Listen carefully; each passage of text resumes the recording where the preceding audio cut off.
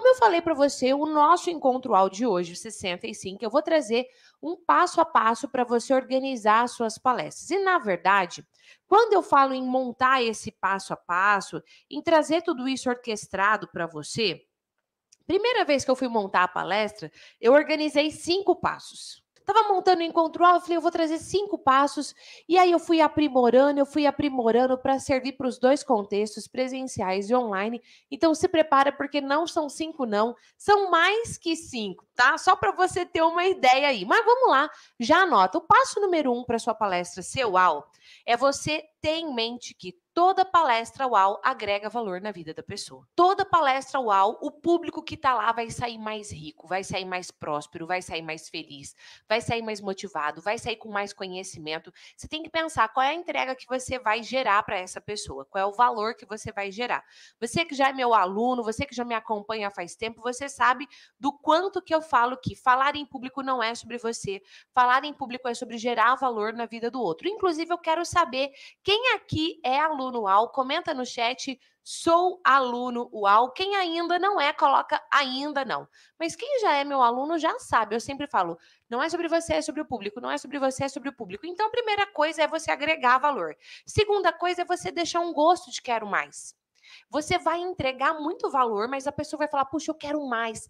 Tanto é que um dos efeitos de quando a sua palestra é uau, você desce do palco, por exemplo, uma palestra presencial, forma fila das pessoas para virem falar com você, para te agradecer, também para tirarem foto com você. Mas elas querem saber demais que mais que você tem? Você tem um curso, você tem uma consultoria, você tem um treinamento, você tem um livro, o que mais? Porque gera esse gosto. Outro ponto é que uma palestra UAU, ela cria uma verdadeira experiência. Mesmo que a palestra seja extremamente técnica, cria uma experiência, gera emoção na vida daquela pessoa que está lá te assistindo. Não é sobre você manter aquela coisa chata, morna do início ao fim, não vão criando várias experiências, várias emoções, uma hora tensa, uma hora feliz. Uma palestra UAU faz isso. Outro aspecto ainda é que precisa ter uma autenticidade e, ao mesmo tempo, uma alta performance do palestrante. E aí eu vou usar como exemplo, não eu, Gislene Esquerdo, mas eu vou usar como exemplo um aluno meu, deixa eu pensar, Mairo Vergara. Mairo é um professor de inglês que ele já gravava vários vídeos no YouTube, o canal dele já tinha muitos e muitos inscritos, e ele ia fazer a primeira palestra da vida dele. Inclusive, você que é membro da comunidade UAU, lá dentro da plataforma, na área da formação efeitual, tem várias é, tem vários conteúdos com o Mairo, um deles, inclusive, sou eu analisando a palestra dele, vírgula por vírgula. Quando você vê o Mairo no palco palestrando, e tinha 60 pessoas nesse evento que ele palestrou, ele foi eleito o melhor palestrante, o número um, e foi a primeira e única palestra da vida dele ele simplesmente foi ele. Quando você olha o Mairo no palco, era ele do início ao fim. E o público percebe isso. Ao mesmo tempo, uma alta performance, desde a utilização do palco até os gestos, a forma de interagir com o público. Então, sim, uma palestra UAU tem autenticidade, você vai ser você de forma estratégica, óbvio, e com alta performance. Tem que ter. Ainda óbvio, uma palestra UAU gera novos contatos e contratos. Isso quer dizer que quando você faz uma palestra UAU e você desce do palco ou você encerra ela online, pode ser, simplesmente as pessoas vão falar assim: "Puxa, mas eu quero fechar uma consultoria com você. Eu quero um treinamento com você. Olha, eu quero te contratar para levar para minha empresa. Eu quero uma nova palestra sua, eu quero gera novos. As pessoas vêm até você para saber do seu, pra, do seu trabalho, do seu serviço, do seu produto. Isso daqui é o que eu chamo de efeito uau. Tá? Você que já é meu aluno, vai lá dentro da plataforma, mergulha de cabeça dentro da formação efeitual, porque é tudo isso daqui que eu estou ensinando para você nesse momento, só que na prática, como é que você faz o passo a passo tá bom? Gi, outro aspecto para a palestra ser UAU, qual é? É o público. Família UAU, presta atenção, você pode ter a mesma palestra, o mesmo roteiro, o mesmo conteúdo, só que dependendo do público, muda completamente. Os exemplos que você vai dar, a roupa que você vai vestir, muda tudo, porque o foco é o público. Então, quem serão as pessoas que estarão na sua palestra? Qual é o nível de conhecimento sobre o tema que você vai falar daquelas pessoas? Elas já vivenciam aquilo? É a primeira vez que elas vão ter contato? São pessoas que estão buscando algo a mais, de repente um aprofundamento? Ou é primeiro contato, tem que ser algo mais raso, mais superficial? Quanto mais você souber do público, maior a chance de você alcançar o resultado que você quer. Qual o resultado que você quer? Um efeito uau na sua palestra. Então, quem que é o seu público? Hoje, mas assim, se eu for fazer uma palestra e eu não conhecer ninguém, eu chegar lá na hora e eu tiver que conhecer, você pode fazer perguntas e pedir para o público levantar a mão. Você pode fazer uma enquete ao vivo por alguns aplicativos e as respostas vão aparecendo para você. Ou antes, você pode montar um formulário no Google e mandar para essas pessoas. Dentro da formação efeitual, eu ensino como é que você faz tudo isso tá bom? Mas você deve conhecer o público antes. Quanto mais você conhecer o público, maior a chance de você alcançar o resultado que você quer. O público dentro de um evento. O que é um público dentro de um evento? Vou usar outro exemplo de um cliente meu de mentoria também, o Paulo Cuenca e a Dani Nossi. Uma vez eu treinei o Paulo e a Dani para eles montarem o primeiro evento presencial deles, que era uma imersão, e desse evento a gente tirava uma palestra. Nessa palestra, quando eles chegaram lá, na verdade nem foram eles que chegaram, porque a Dani passou mal um dia antes e só o Paulo foi palestrar. Quando o Paulo foi palestrar, todo mundo esperava ver a Dani. A Dani Nossi era a influencer famosona. O Paulo era só o bigode na cozinha que fazia arte lá na cozinha quando a Dani estava fazendo a sua culinária.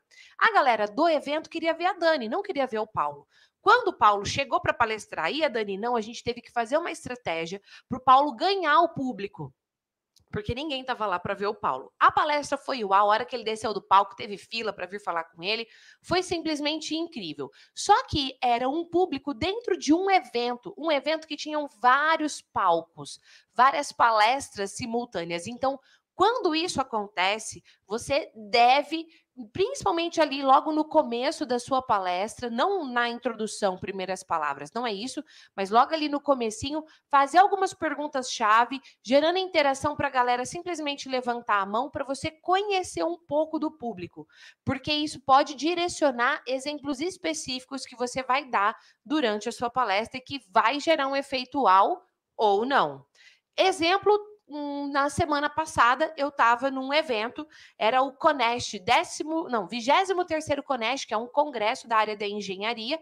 O evento foi presencial, eu fui palestrar e era uma palestra, a palestra magna de abertura de um congresso, a palestra super importante, mas eu não conhecia muito o público. Então o que, que eu fiz? Na abertura da palestra, ali no comecinho, fiz a primeira introdução. A hora que eu comecei a entrar no tema, eu já comecei a fazer algumas perguntas para que eu pudesse conhecer o público. E toda vez que você for fazer a pergunta, você não precisa necessariamente falar levanta a mão. Você só levanta a mão e a galera imita você através dos neurônios espelhos, gerando uma super conexão. Gi, Quero saber mais sobre os neurônios espelhos. Hoje eu estou trazendo o roteiro da palestra para você aprender mais sobre esses pormenores. Formação efeitual, tá lá dentro da comunidade para você. Mesmo tema, mas públicos completamente diferentes. Gi, se você me disse que o foco é o público, como é que eu ajusto isso? Então, eu vou falar para você. E aí, eu vou te dar outro exemplo. Tem um curso Técnicas de Apresentação e Oratória. Meu Deus, eu ministrei esse curso infinitas vezes, assim, já perdi totalmente as contas. Quando eu faço esse curso para executivos de uma empresa, outro dia, por exemplo, a gente estava treinando, e eu falo a gente, porque tem uma empresa junto comigo, a UAU, Desenvolvimento Humano, a gente estava treinando a diretoria, o CEO, o CFO de uma multinacional profissional para eles melhorarem, aprimorarem a habilidade de falar em público. Ok. Um conteúdo extremamente semelhante para um projeto social organizado por uma ONG chamada JCI, que a gente ajuda adolescentes a falarem em público. Eles participam de um congresso nacional e mundial. Gente, público completamente diferente. Teoricamente, o conteúdo é o mesmo. Agora, você acha que eu vou com a mesma roupa? Você acha que eu vou usar os mesmos exemplos? Você acha que eu vou usar as mesmas gírias? Óbvio que não. Então, você deve ajustar aquela sua palestra, aquele seu treinamento de acordo com o público. E então você vai ajustar, como eu acabei de falar, exemplos, você vai ajustar a roupa que você vai utilizar, você vai ajustar as imagens que você vai colocar nos seus slides. Por quê? Porque para sua palestra ser uau, você precisa gerar valor na vida do público. E aí a gente volta até para o ponto número um que eu falei para você aqui. Bora lá. Terceiro, resultado. Meus alunos também já estão cansados de me ouvir falar isso. Qual é o resultado que você quer alcançar com a sua palestra? E eu digo assim: olha, você vai fazer uma palestra, muitas vezes antes você pergunta para a pessoa: ah, qual tema você quer da palestra? A pergunta certa é: qual resultado você quer? Por que você vai dar essa palestra? Porque dar essa palestra é estratégico para o seu negócio. E, ao mesmo tempo, perguntar para a pessoa que está contratando qual é o resultado que ela quer com essa palestra. Então, são dois resultados. O resultado para você, palestrante, vou usar aqui, deixa eu escolher é, a Fabi como exemplo, tá? A Fabi vai dar uma palestra e vamos supor que é num congresso, um congresso presencial. Ela fala: bom, por que, que eu vou dar essa palestra? Qual é o objetivo que essa palestra me ajuda a alcançar dentro da minha trilha, dentro da minha jornada, dentro da minha vida? Essa pergunta a Fabi vai responder. Vamos supor que quem está contratando é, deixa eu ver aqui, ah, o Sebastião. O Sebastião está contratando a Fabi. Então, quando a Fabi for alinhar lá por telefone, videoconferência, enfim, não importa, com o Sebastião, ela vai perguntar: Sebastião, qual resultado você quer que a gente alcance com essa palestra? Terminou a palestra agora, foi incrível, foi uau. Qual resultado você, como é, contratante, estará celebrando?